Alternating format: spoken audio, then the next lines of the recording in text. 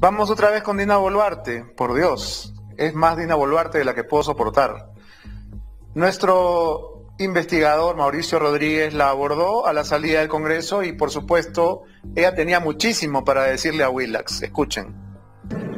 No he cometido ningún acto ilícito, tampoco se ha violado el artículo 126 de la Constitución. No hay conflicto de intereses porque el Club Departamental Apurima, yo no tengo ningún enriquecimiento ilícito producto supuestamente de este acto ilegal que algunos congresistas mencionan. Yo dije, vengo con las manos limpias y así voy a gobernar.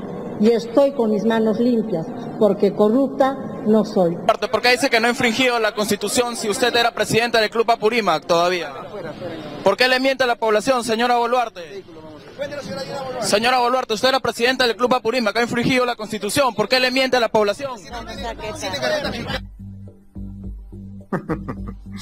Está muy bien entrenada Dina Boluarte porque está en el peor momento, ¿no? Está en, en los días más oscuros, pero ella finge una sonrisa permanentemente, que es algo que tiene que ver con un media training, ¿no? Muy, muy esmerado, ¿no? Sale cubierta de tomates podridos, pero sonríe, ¿no? Y no, no responde a nadie, ¿no? Y sigue con su sonrisa.